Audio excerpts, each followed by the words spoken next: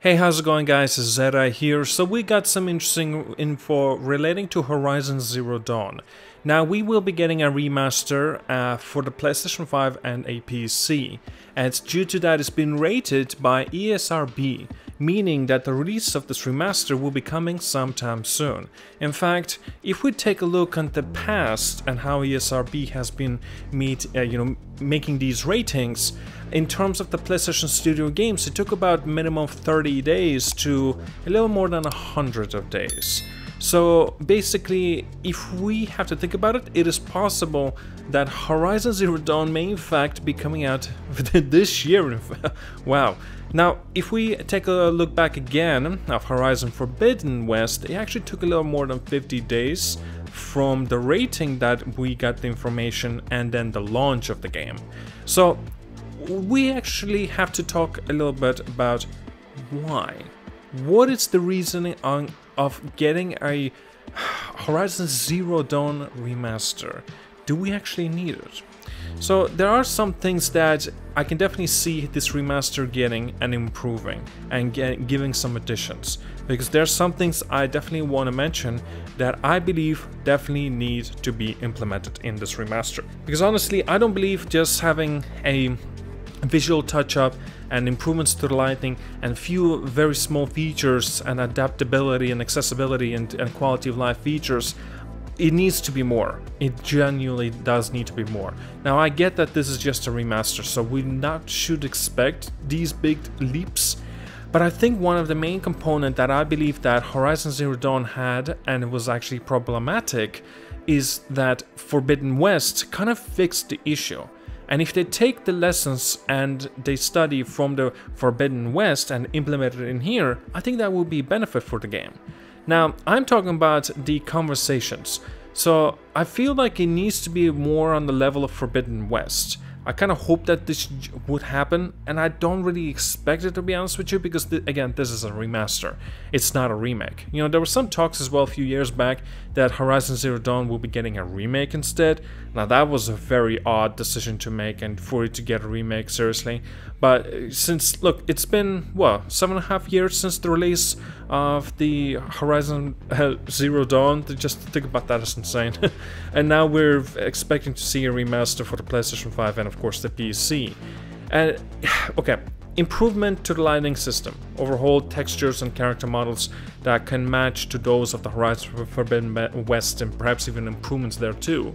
Now, focusing on bringing over the accessibility, it's like already touched on a little bit, and quality of life features from the sequel, and like, for example, uh, one of the biggest one I feel that definitely needs to be in a, this remaster is having no animations on whenever you want to pick up automatically, right? Just while you're going through the world, there are things like grass and just things that you can collect. Just don't let our character stop, you know, and taking her time to collect these things and just let her do it automatically. I love this feature. It just makes it seamless and I don't have to pay attention and I don't have to worry about this sort of stuff. And again, maybe transmog system. I believe that Horizon Zero Dawn never really had a proper transmog system, so perhaps this is actually a good wel uh, welcoming feature that could be implemented in this remaster. Now, of course, there definitely should at least we should expect some updates to the machines that we have seen in Horizon Zero Dawn that have made a return in Forbidden West. And now with this remaster, maybe they can take lessons from Forbidden West and bring it back to this remaster. And so I think they should update some of the machines, the AI, the learnings of that as well, and just in general how these machines machines can look. Just make them look as more realistic and look look more How, what's the word? Frightening is than ever before? it's just, uh, honestly, still is a question, what is the reasoning of this getting rem uh, remaster? And I, I, I think it's okay, personally for me. I always like Horizon Zero Dawn. I am looking forward to see more of it. I want to play it, yes, for sure. I will be getting it. If there, you know, it really depends how much it'll cost as well. Because I feel like they're kind of, oh goodness, I'm, I'm kind of worried. Because since this is remastered, it's not like you can just upgrade it for free. You don't pay 10 bucks extra to get an upgrade. I don't believe so. I don't know, maybe it will be something like 40, 50 euros. Oh, goodness me. I'm worried about that, honestly.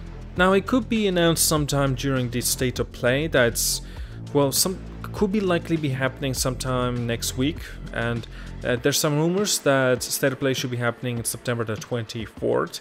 I don't know how much if that is really true, and but still, Sony are, is very very unpredictable, and a lot of people just don't know what they're thinking at that point.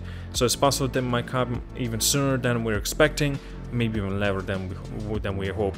But nevertheless, it's just that we'll still have to wait, right? It is possible that it, this remaster may not be everything that we're hoping for and all the my kind of features and wish list that I want to see within this remaster and it just could be simple touch up in a few updates like in the visuals and the performance and just that uh, honestly that will be very disappointing but we can hope Alright guys, so I wanted to you know have a little bit of conversation for today. Thank you so much for watching. I do apologize for not uploading for past two, three days because I actually been playing a lot of oh god, well two games actually, old games mind you. I've been playing Black Ops 4. I'm trying to get that 100% because I'm I'm in a process. I'm almost done. I feel like in a few more days I will be able to get that uh, plat not just a platinum but 100%. I'm gonna post it down in the community tab page, guys, if you want to take a look at my platinum when I'll get it. Uh, I think I should get it by the time maybe next week, maybe a few days, I'll say, not even next week. And the other game I'm playing as well is Sleeping Dogs. Yeah, unbelievable, because I actually played Sleeping Dogs on PlayStation 3, it was many years ago, my goodness, 2012 I believe it came out. And now I'm playing once again in 2024. Ah, what a fantastic game, but it's so damn outdated, unfortunately. It really aged, it definitely aged. I wouldn't say it uh, aged badly, though.